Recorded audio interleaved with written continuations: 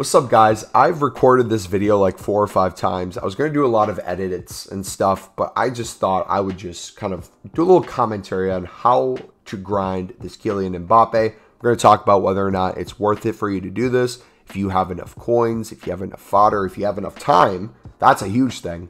You don't want to be cut with the 89 teams done, but then you run out of time, run out of coins, and you essentially wasted a bunch.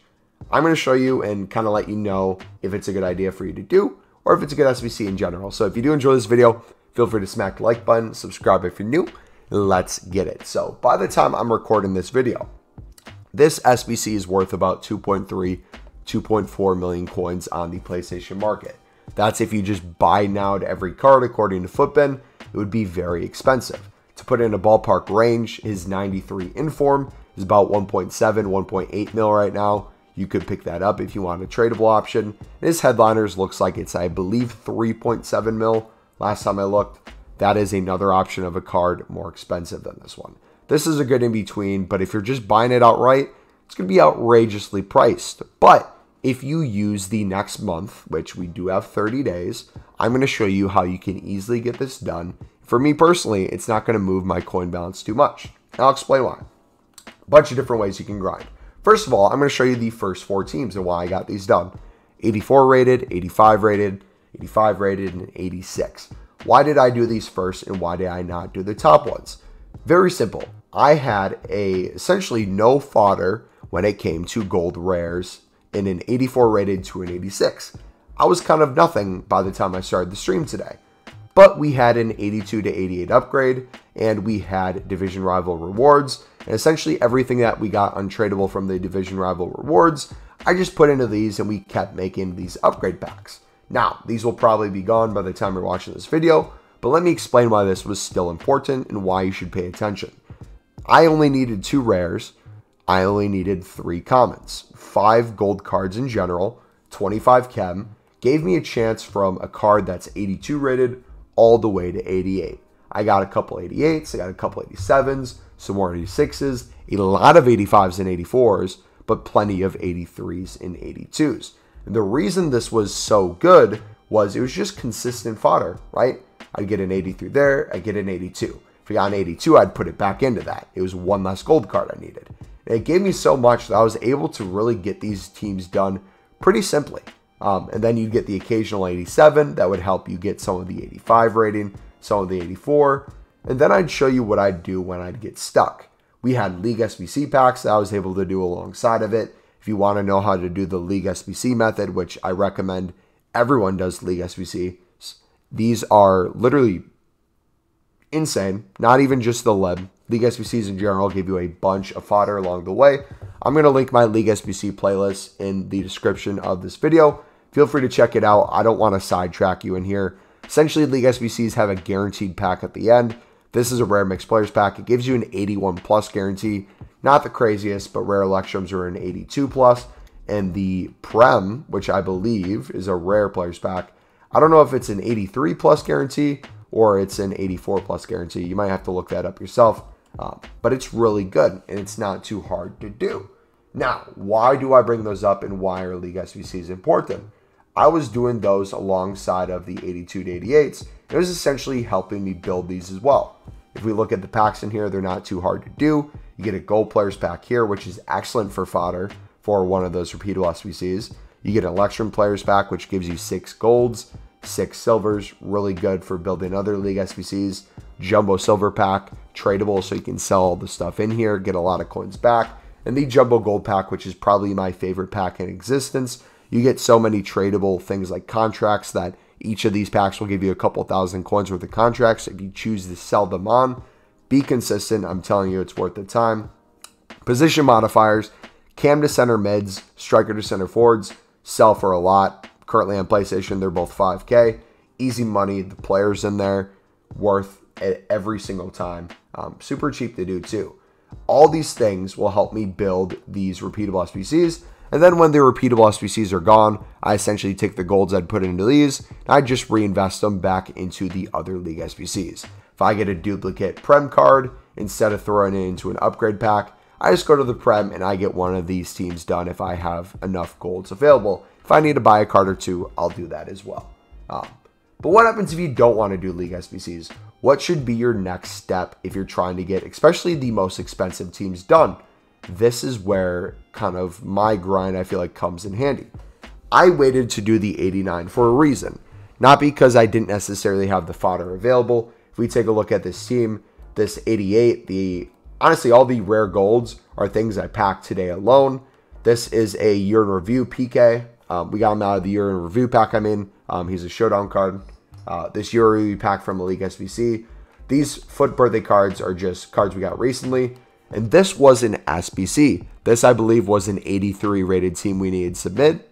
Submitted to get him done. We got an 88 rated card. And if you check, we have a 91 Courtois goal. That's not an inform though. That is a special card. What kind of special card is it though? Let's take a look. It is a live SBC card.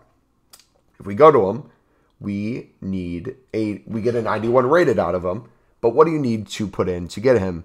You need to put in an 85 rated squad, which as we were doing, getting a lot of 83s, 84s, some 85s when we were doing the 82 to 88. Just like me, you might have a bunch of cards lower end sitting around now that you got those first couple teams in Mbappe done. You might not know what to do with them. On top of that, you might get a higher walkout rated card and it's a duplicate, but you don't have enough to get an 89 rated team done. Why is it good to put it in here? You put it in there, right? Let's say you get a Suarez, a Chuy Suarez, 88 rated. You put him in there with a bunch of your 84s and a couple 85s. Boom, you get that 85 rating. You submit it and you're good to go. You have a 91. That saves you a ton of coins of having to buy a 91 off the market. Now, once I get that player, I will probably end up buying the remaining Lewandowski if we don't pack him or a card like him along the way. Um, but I'm able to do so because we have some coins and we're making coins from League SBCs. Now, what is another way you can get these teams done without doing League SBCs and grinding in different ways? Let me show you. Not only is the Player of the Month's good ideas, things like that, every promo you're going to get a bunch more special card SBCs coming out. Someone like Oyarzabal, I don't think I even said his name correctly. 92 rated card, right? You go in, he has an 83 rated team, an 84 rated team, and an 85 rated team. Excellent way to use some lower rated cards to get yourself a tradable pack, potentially pack something out of there. If not, you get some coins, right? Use those coins to then help you buy out the rest of this if you need help, if you don't have enough fodder. Very simple to do along the way, and you can take your time with it. remember, we have a month. You are not in a rush. Even though 11 teams seems like a lot, it could have been even more. 11 teams is kind of pretty simple to do if you think about it. Other things as well. You could go to swaps. If you're watching this during FUT Birthday still, we have six days left when this new promo starts. Um, you can still submit some of these cards. So if you had two of the swaps, you could get a rare players pack. If you had five, you could get an ultimate pack. You could go to the 86 plus times seven if you have 14 swaps. That's probably a really good pack. But you also still have things like icon swaps, which can give you an 81 plus times 25, an 82 plus times 25, and an 83 plus times 25. Me personally, I need to get these done the next couple days. I have some squad battle games I need to play and then some friendlies, and I should have that taken care of.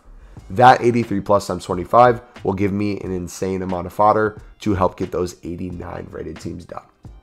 So those would be kind of the main ways I would say start grinding for these cards. You might be thinking to yourself still, okay, Mumbo, well, if I don't have the time to grind League SBCs, if I maybe don't have as many coins as you, or don't know if I have enough coins to cover it, if I'm getting low on time, what are some other things that I could do to potentially grind or get stuff along the way? Think of it like this he is out for another 30 days. That's essentially four weeks. In four weeks, you have squad battles, you have division rivals, you have FUT champs, and you have what else? You could do, if you wanted to, maybe, what's it called? Why am I blanking on its name? Draft. You have four different game modes that you could potentially get rewards from. Draft, you get it right, right away. Um, all the other three game modes, you get it on set days. If you're someone who grinds gameplay, you're going to constantly be getting packs throughout the week that if you get something decent out of it, or like division rivals especially, you always have the option whether you want tradable ones or you could take untradeable and essentially double the amount of packs you get. If you take the untradeable option, you get a bunch of fodder along the way. That's going to help you craft it. That will get a lot of that taken care of. And again, even if you don't get crazy walkouts, if you get a bunch of like 83s and 84s, you take care of some of these teams, you start submitting some of these SBCs, you have an 88 rated card, a 90 card, a 92. That is going to give you a bunch of SBC fodder along the way, which is going to be making it very easy for you to get these 89 or rated teams done. Remember, it's only 289. The step from an 89 to an 88 is so easy. Look at what I'm using in the 89 again. It's nothing too crazy. It's all essentially 88s. We have a 92 and a 91. If I would take away that 89 rating and go for the 88, it's so much simpler to get done. We don't need the 92. I could probably even throw something like that in and still be at an 87. So these things are pretty simple to get done, and it's going to be simple in 30 day time period. Now, if you wait till the final week, you might have an issue, but as long as you understand every couple days or every week you're slowly making progress, getting a team done or two, you should be good to go. Um, another thing you can be doing along the way is if you need trading tips, I have my trading playlist that I can link in the description as well. I'm making about 100k a day doing League SBCs and flipping cards. Very simple. You can learn it too. But remember, you get tradable packs out of these. So once you get an 89 rated done, get a rare players pack. You can pack something crazy out of here. You have your daily peaks to see if you get anything in the previews. So if you go to the store, I think most people know about this right now, but you still can go to browse and go to gold packs and get your daily check. You might be able to pack something crazy out of here. And if you do, that's some more coins, that's some more fodder that you can put back into those things. Now, that's essentially all the tips I have now. I don't know what this next promo is going to have in store in terms of SBCs. I don't know if they're going to have a swap token system, but you can rest assured there's going to be things that you can do during that promo that will help you work towards that SBC. The final thing I'll bring up too, make sure you're looking at objectives. If you're grinding the season pass, you're going to get packs along the way here. The first couple might not be crazy, but the further you get into the season, the better the packs get, the better the rewards get. Level 15, you're getting an 85 rated player, which isn't too bad. But if you get all the way to the end, you will have some 88s in here. You could use that as fodder if you want. But you have packs like this where you could get a Liga Prime players pack, Bundesliga Prime players pack, or League One Prime players pack. We also have objectives and milestones that you can continuously work towards. If you wanted to go for like, let's say, an 87 rated Lamela here, um, you have packs that you could get along the way, which doesn't seem crazy in terms of the rewards for these, but they're not too hard of challenges to get done. In the end, you get a Prime Gold Players Pack. Just go through all these and check to see if any of these would be good things for you to do. Got a bunch of foundation cards that could add up over time as well. Tons of options to get fodder. So I'm going to leave you there. If you have any questions, feel free to comment them down below. And yeah, we'll be grounding this on stream throughout the week. This is kind of kind of be the video I send you to. So if you came from my stream and I told you to watch this, good job. You got to this point. I'm proud of you. Um, feel free to keep asking any questions you do have. I'm still going to be learning to see if there's better ways to get it done. But again, I'm probably not going to have my coin balance move too much. And we're going to start working now from the up down. We're going to get the 89 done. And then maybe we might do like an 86 if we have a bunch of 84 and 85 fodder. If we run out of those like monthly player of the months. Um, but we'll see, man. I don't know what else they have in store. If we get another 85 plus times three, things like that, where it's pretty cheap to do, if they drop those, that can help with fodder as well. But anyways, I'll catch you next time. It's been your boy Mumbo I'm out. God bless.